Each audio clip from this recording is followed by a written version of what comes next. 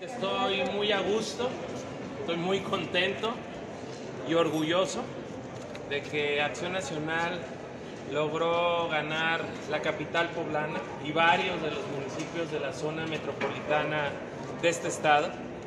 Los pésimos gobiernos municipales que tenía el estado de Puebla el día de hoy terminan. Empiezan nuevos gobiernos y buenos gobiernos.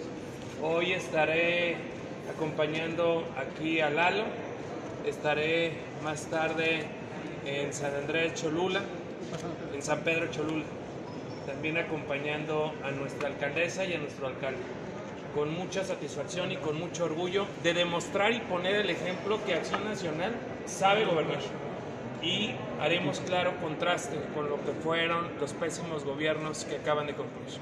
Presidente, presidente. Muchos candidatos rumbo al 2024 para la presidencia de la República. Ya los he citado una y otra vez. Desde Ricardo Anaya, hoy perseguido político del gobierno morenista, Mauricio Vila, gobernador de Yucatán, Maru Campos, gobernadora de Chihuahua, nuestro gobernador de Guanajuato, nuestro gobernador de Tamaulipas. Tenemos a muchos aspirantes como Santiago Krill, vicepresidente de la mesa directiva, Juan Carlos Romero Hicks, es coordinador parlamentario.